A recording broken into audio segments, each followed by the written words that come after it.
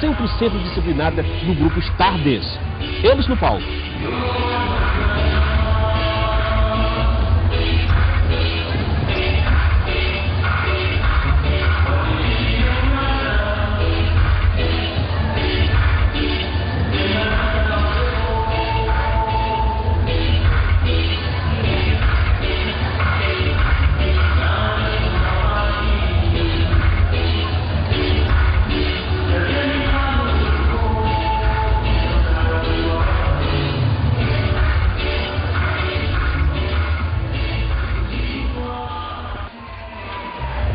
Boaventura e Dona Cheia, e antes formavam um grande grupo, agora são só uma dupla, mas nem por isso perderam o ritmo e o brilho e também as cores do reggae.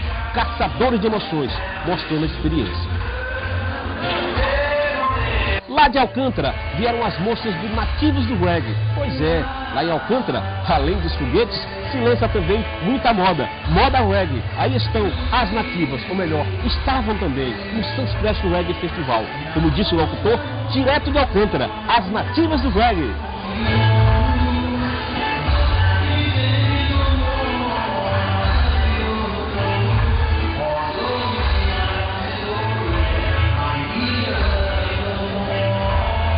Depois, um grupo da Liberdade, o grupo St. Louis. Diga-se de passagem que o professor Zeca Pedra fazia parte dos Caçadores de Emoções, mas agora montou o seu próprio grupo e também estava no Sunsplash.